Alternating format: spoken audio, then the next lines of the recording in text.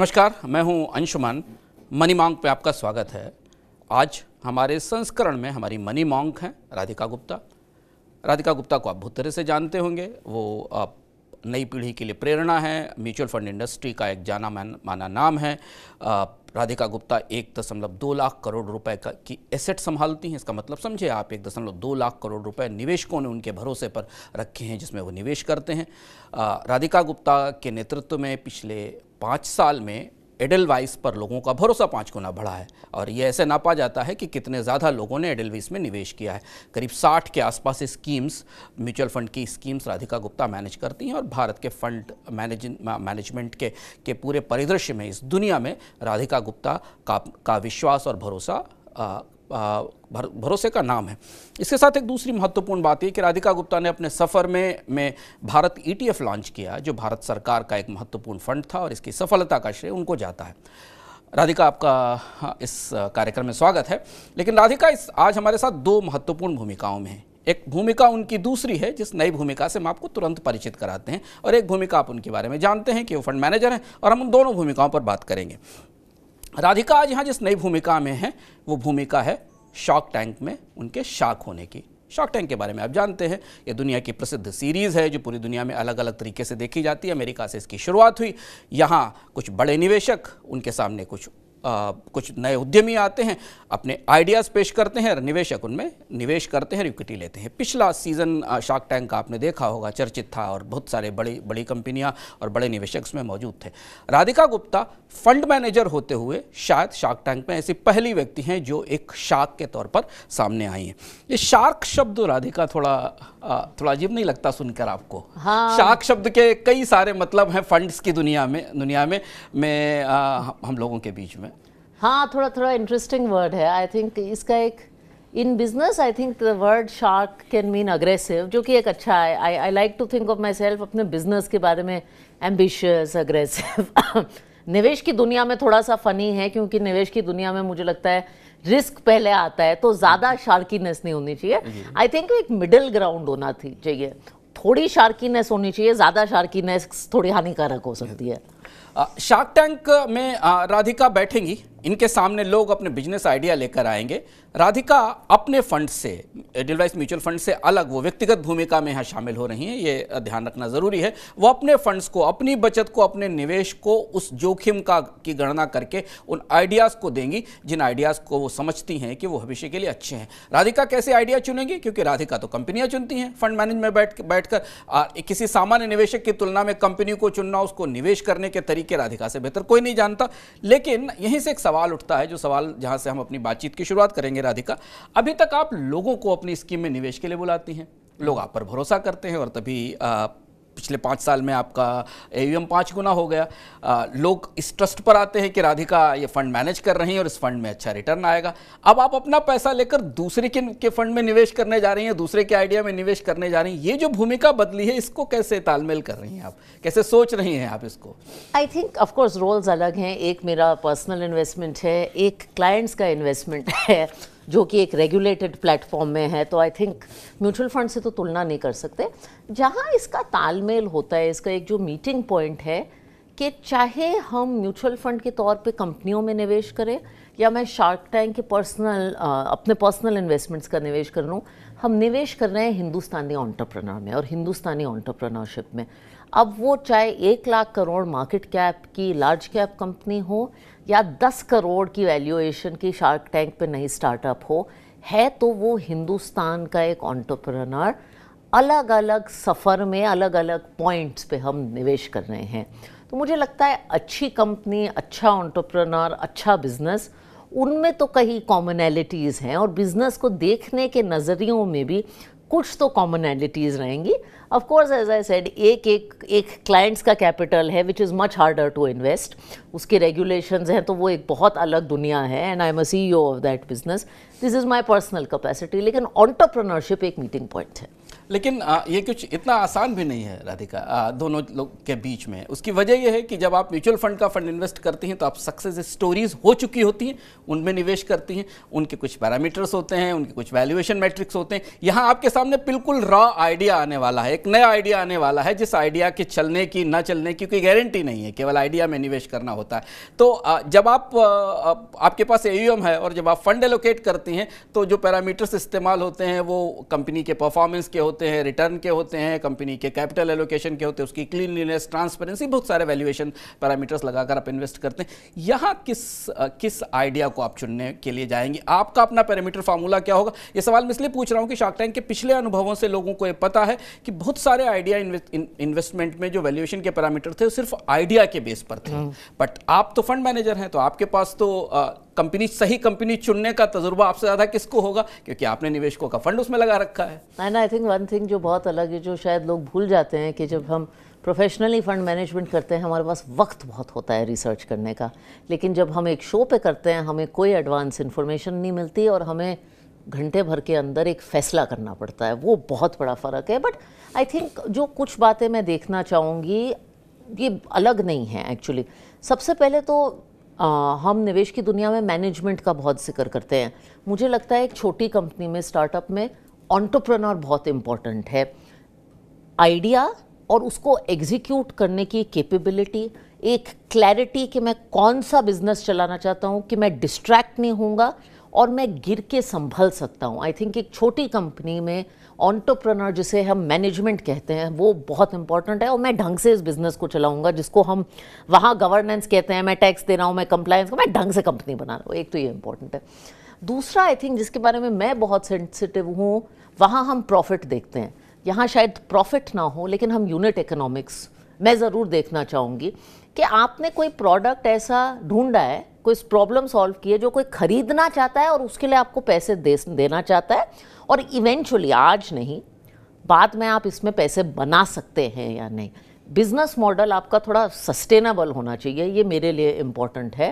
And तीसरा of course वहाँ भी, यहाँ भी वैल्यूएशन इंपॉर्टेंट है। यू नो uh, अब यहाँ प्राइस टू अर्निंग्स मल्टीपल और वो सब वो तो देखते नहीं है। लेकिन एक सैनिटी की जो रेंज होती है वैल्यूएशन की भाई आप क्या मांग रहे हैं? ऐसे ही आके कुछ ना मांगे वो भी थोड़ा सा इंपॉर्टेंट है। क्योंकि चाहे किसी और का कैपिटल हो या अपना कैपिटल हो पैसे की इज़्ज़त करनी चाहिए कैपिटल की इज़्ज़त करनी चाहिए। तो वो मेरे लिए बहुत इंपॉर्टेंट है। एक और चीज़ जो मैं कहना चाहूँगी ये एक निवेश का एफर्ट है ऑफ़ कोर्स मैं पर्सनल कैपिटल डाल रही हूँ बट ये एक यंग युवा ऑन्टरप्रनर को सपोर्ट करने का भी एफर्ट है। तो इसमें मैं ऐसे बिजनेसेस से भी जुड़ना चाहूँगी जो मेरे दिल के करीब हैं, जहाँ मैं कुछ वैल्यू ऐड कर सकती हूँ। कुछ ऐसे क्षेत्र जो which speak to my heart that is not true in professional investing तो यहाँ एक थोड़ा सा पर्सनल एंगल भी आ जाता है। तो शार्क टैंक पे आने वाले लोग आप ध्यान रखिए कि केवल आइडिया से काम नहीं चलेगा यूनिट इकोनॉमिक्स भी रा, राधिका समझने की कोशिश करेंगी। लेकिन यहाँ से हमें डिफ़िकल्ट टेरेन में ले जाते हैं राधिका आप सवाल को। आप शार्क टैंक में जब शामिल हो रही हैं शार्क होकर तब इंडिया के स्टार्टअप स्पेस में बेहद उथल पुथल मची है। हम्म। बड़े स्टार्टअप्स जो अब आइडिया से आपके म्यूचुअल फंड पोर्टफोलियो का हिस्सा भी हो गए घूमते घूमते वहाँ तक आ गए। उसमें से उनमें इन्वेस्टर्स के के, के तजुर्बे बहुत अच्छे नहीं रहे शुरुआत में। स्टार्टअप स्पेस में जो बड़ी कंपनियाँ थी जिनको हमने इससे पहले सुना जो जो बड़ी कंपनियाँ थी उन उनको वो सब समस्या में हैं उनके वैल्यूएशन के सवाल हैं उनके बिज़नेस मॉडल कोलैप्स कर रहे हैं। तो ये स्टार्टअप का जो अब स्पेस पिछले एक साल में डेवलप हुआ है इसमें बहुत सारी रीथिंकिंग आना शुरू हुई है। सिर्फ़ यही नहीं कि आइडिया सक्सेसफुल हो इसके पीछे रेवेन्यूज़ की भी आ, के, के भी पैरामीटर्स आ रहे हैं। ये जो फिनोमेना बदला है, है स्टार्टअप में जहाँ पर हम आ, कई बड़ी स्टार्टअप कहानियों को मुश्किल में फंसता देख रहे हैं वहाँ शार्क टैंक में अब कैसा नज़रिया होगा स्टार्टअप आइडियाज़ को लेकर हमारी हमारे ताज़े अनुभवों की रोशनी में? देखिए फंडामेंटली दो बातें। एक तो इंडिया में जो ऑन्टरप्रनरशिप का कल्चर चला है वो पाँच साल पहले से नहीं है। किसी ज़माने में इन्फोसिस भी एक ऑन्टरप्रनोरियल एफर्ट था जो कि आज जाके इंडिया का एक जायंट बना है। तो फंडामेंटली देश में ऑन्टरप्रनरशिप के कारण देश चलता है। प्राइवेट सेक्टर की जो एनिमल इंस्टिंक्ट्स हैं, वो बहुत ज़रूरी हैं इंडिया के लिए। एंड आई डोंट थिंक ये पाँच साल पुरानी कहानी है। इन्फोसिस जाके आपकी 1980 में शुरू हुई थी। तो सबसे पहले तो ये। दूसरा, जब आप स्टार्टअप करते हैं तो फेलियर ज़ाहिर है। हज़ार स्टार्टअप में से शायद एक, दो, तीन, चार कामयाब हों। और हमें फेलियर को सेलिब्रेट करना चाहिए। अगर हम बार बार कहेंगे, लोग फेल हो गए हैं तो ये स्टार्टअप स्पेस कभी टेक ऑफ़ नहीं करेगा। मुझे लगता है पिछले कुछ सालों में क्या हुआ है, जो आपने बात की, एक मचोरिटी आई है। एक वेकअप कॉल आया है स्पेस में कि हमें जल्दी में नहीं रहना चाहिए। हमें अनब्राइडल्ड ग्रोथ जो कि अनसस्टेनेबल ग्रोथ है, उसके पीछे नहीं पड़े रहना चाहिए। मैं बार बार कहती हूँ कि ये जो फंड रेजिंग हम भी शार्क टैंक में फंड्स दे रहे हैं फंड रेजिंग सिर्फ़ एक हिस्सा है एक कंपनी की ज़िंदगी का, वो एक एंड इन इट सेल्फ नहीं है, वो एक मीन्स टू एंड एंड है। और सिर्फ़ फंड रेजिंग को हमें सेलिब्रेट नहीं करना चाहिए। हमें सस्टेनेबल बिजनेसेस जो आगे जाके कल की बड़ी कंपनीज़ बनेंगे, उनको सेलिब्रेट करना चाहिए। तो मुझे लगता है कुछ ऐसी मचोरिटी आई है स्टार्टअप इकोसिस्टम में उसकी कुछ कैजुअलिटीज़ भी हैं उसके कुछ रिजल्ट्स भी हैं और वो हर इंडस्ट्री में आती है। इक्विटी पब्लिक इक्विटीज़ में भी आई थी। एक टाइम पे 10-15 साल पहले शायद थोड़ी पुअर और कॉरपोरेट गवर्नेंस की कंपनीज़ कैपिटल मार्केट्स में आके पैसे रेज करती थी। आज वो मेरे हिसाब से करना बहुत मुश्किल है क्योंकि पब्लिक मार्केट का इन्वेस्टर बहुत स्मार्ट हो गया है। प्राइवेट मार्केट का इन्वेस्टर भी मचोर होता जा रहा है। आई थिंक ऑन्टरप्रनर्स में जैसे मैं भी देख रही हूँ शार्क टैंक में भी एक थोड़ा ह्यूमन इकोनॉमिक्स रेवेन्यू इसकी समझ आ गई है।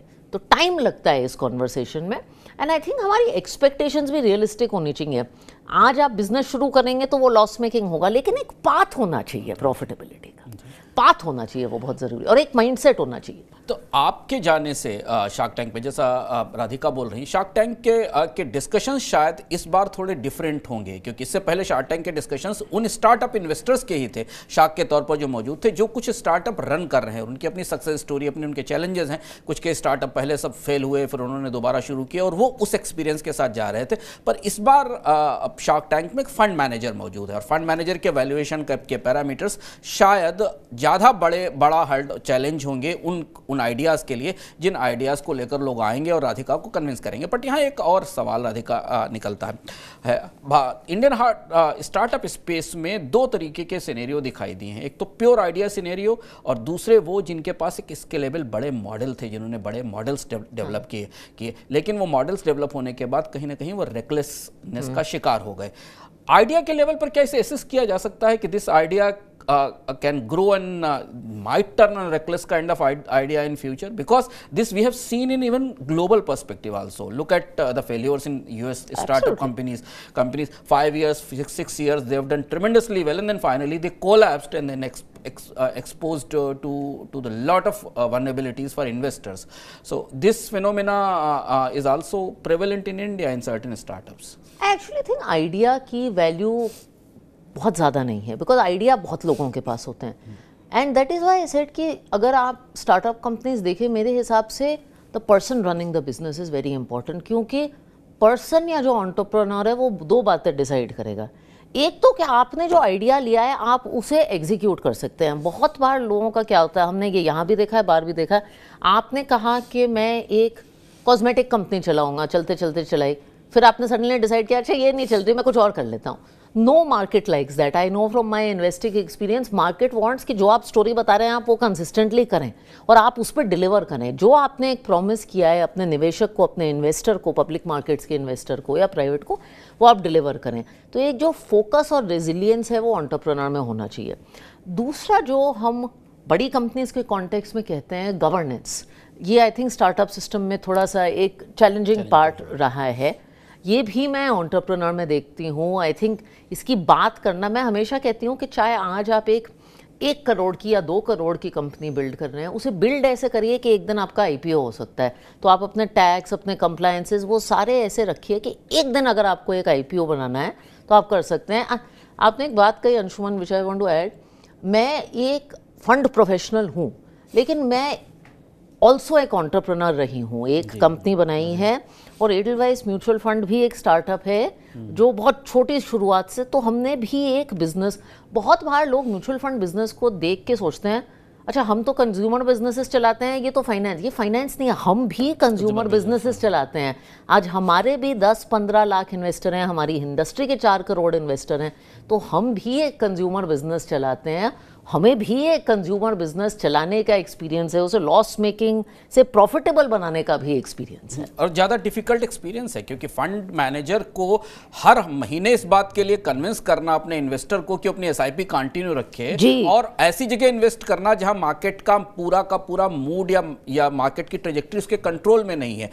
Lot of inabilities into the market investment scenario कहीं वार है कहीं सिचुएशंस है उस बीच में इन्वेस्टर्स के कॉन्फिडेंस और ट्रस्ट को बनाए रखना बहुत डिफ़िकल्ट काम है इसीलिए यह सवाल मैं दूसरा यहीं से आपका सवाल पूछ समझना चाहता हूँ।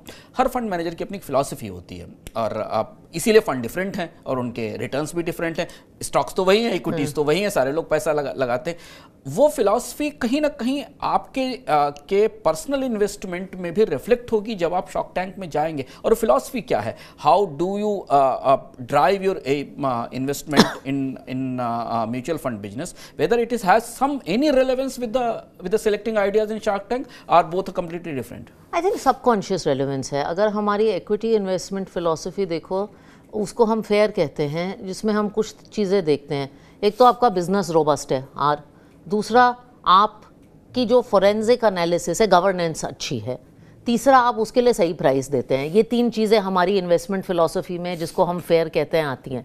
अगर आप वो सोचें उस पर गौर करें, जो मैंने शार्क टैंक की बातें की मैंने प्राइसिंग की बात की, मैंने सस्टेनेबल बिज़नेस मॉडल की बात की, मैंने मैनेजमेंट की बात की।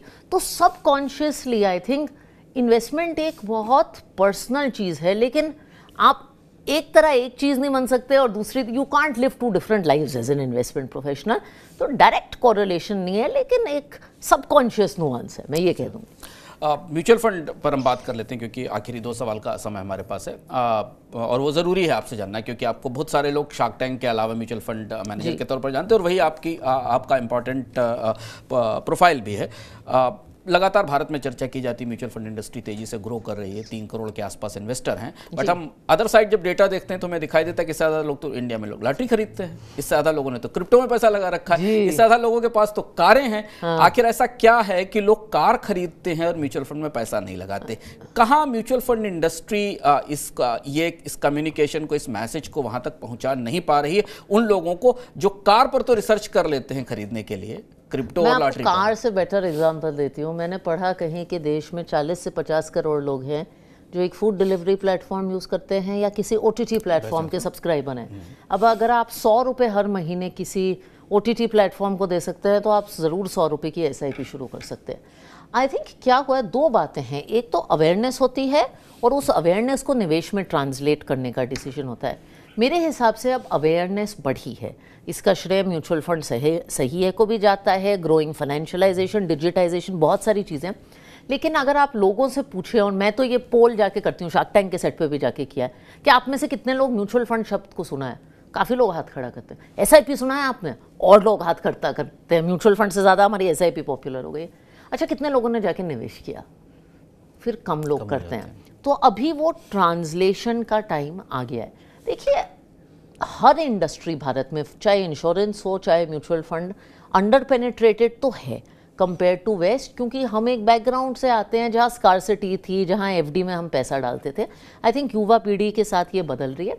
एक चीज़ जो मुझे लगता है, शायद मेरी सीख है, जो हमारी इंडस्ट्री को भी ज़्यादा करनी चाहिए, हम बहुत कॉम्प्लेक्सिटी में भाषा की बात करते हैं even in media active versus passive large cap versus mid cap mutual fund को एक गोल और एक पर्पस सॉल्व करने का एक इंस्ट्रूमेंट बनाना चाहिए। कोई इंसान ऐसे उठ के नहीं कहता, आज मुझे फ्लेक्सी कैप फंड खरीदना है, आज मुझे पैसे फंड खरीदना है। वो उठ के ये सोचता है, मुझे बच्चे को बाहर पढ़ने भेजना है दस साल में, पैसे कैसे जुटाऊं? उसका हमें जवाब देना चाहिए। तो इंक्रीजिंगली मेरी लैंग्वेज गोल्स की तरफ़ फोकस्ड है और सिंपल होती जा रही है। राधिका ने दोनों बातें बताई आपको। वो कैसे शार्क टैंक में कंपनियाँ चुनेंगी और यदि आप शार्क टैंक में जा रहे हैं या भविष्य में कहीं भी कोई कंपनी बनाना चाह रहे हैं तो राधिका के शार्क टैंक के एपिसोड ध्यान से देखिएगा, क्योंकि वहाँ एक फंड मैनेजर का वैल्यूएशन का पर्सपेक्टिव मिलेगा। और दूसरी दिलचस्प बात जो म्यूचुअल फंड निवेशकों के लिए है कि राधिका धीमे धीमे म्यूचुअल फंड इंडस्ट्री को गोल्स बेस्ड इन्वेस्टिंग की तरफ़ ले जाना चाहती हैं, जिसकी बात हम लगातार अपने मनी नाइन के शोज़ में करते रहते हैं।